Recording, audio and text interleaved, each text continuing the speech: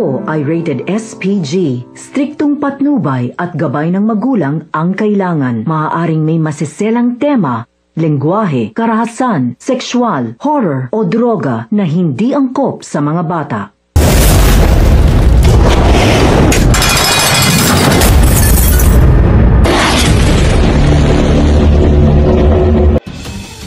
Sa pagpapatuloy ng mga tumitinding eksena at kaganapan sa mundo ng FPJs Batang Quiapo. Pero kung bago ka pa sa ating munting channel ay huwag mo namang kalimutan na isubscribe, like and share ang ating video sa mga bago nating episode na ipapalabas. Simulan na natin ang kapanapanabik na istorya sa presinto.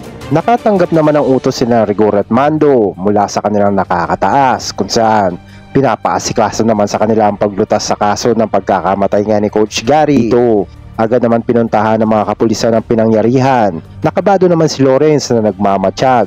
Naalaman naman nila ang naging pakay ng biktima ng pagnanakaw kung saan inumpisa naman nila rigor na magtanong-tanong sa mga kasamahan ni Coach Gary.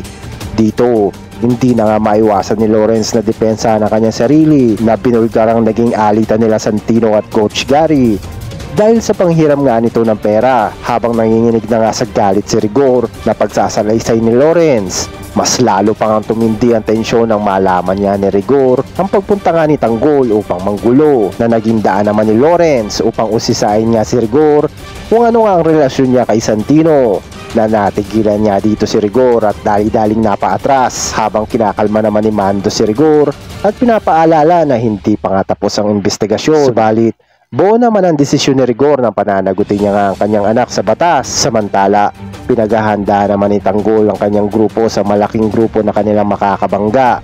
Ikinatuwa naman ni Don Pacundo ang bilis na paggawa ng kanilang kalakal. Habang nakaisip naman si Tanggol ng paraan upang hindi nga mabisto ang pag-deliver nila ng kalakal. Gamit nga ang isang ambulansya na napabilib naman si Don Pacundo sa ipinakitang talino nga ni Tanggol at sa hindi inaasahan na pagkakataon, kinaalarma na nga ng kanilang mga kapitbahay. Dito, agad naman sinalubong ng suntok si Santino na pilit pinapaamin sa kanyang nagawang kasalanan. Habang pinigilan naman ni Martes ang panggugulpi na ginagawa ni Rigor. Nalaman na nga ni Rigor na alam na nga rin ni Martes ang pagboboxing na ginagawa ni Santino na mas nagpatindi pa nga ng galit ni Rigor dahil sa paglilihim nga ng ginagawa ni Marites.